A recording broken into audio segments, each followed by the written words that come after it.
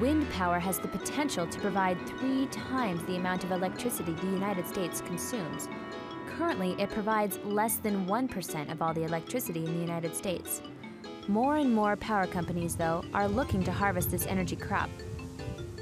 Wind power consultant Tom Wind evaluated the resource from the largest wind farm in the world near Storm Lake, Iowa. The main benefit of wind generation is that it's pollution free. There are no greenhouse gases such as carbon dioxide, there's no nitrogen oxides or sulfur dioxide, no acid rain or smog precursors, anything like that. There's just no air emissions from wind turbines. That's a primary benefit.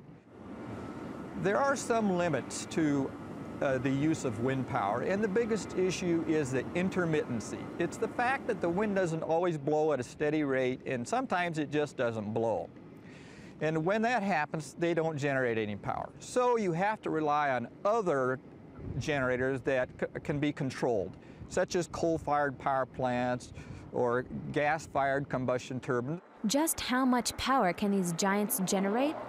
On an average day, one wind turbine here will uh, generate about enough power for one home in Iowa for the whole year.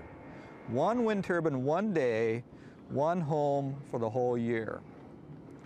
And if you look at the amount of power that one wind turbine can generate over the year, here in this site, one wind turbine here will generate about enough power to supply uh, four fast food restaurants such as Burger King or McDonald's or Hardee's. One wind turbine will supply enough energy for them for the whole year. Of course, this wind farm can harvest all that power because it's located in one of the windiest regions in America.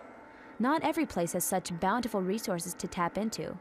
And even if the resource is there, not everyone wants turbines sited near them. Will wind power continue to whip up support for the future?